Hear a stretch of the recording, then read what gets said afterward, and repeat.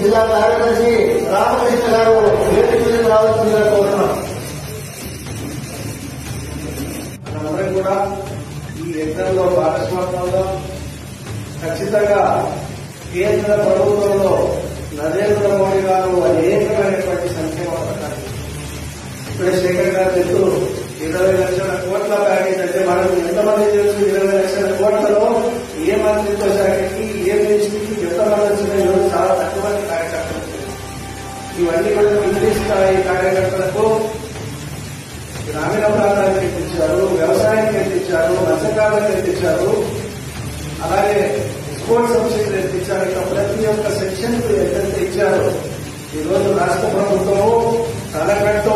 ఇంతకుముందు చాలా చూసాం చంద్రన్న మాట అయిపోయింది. ఇప్పుడు జగనన్న మాట పట్టుకోవడానికి సిద్ధంగా వారి పేర్ల మీద అదేదో జాతి పురుషుల పేర్లు కాదు. ఈ దేశంలో పుట్టినటువంటి మహాపురుషుల కాదు.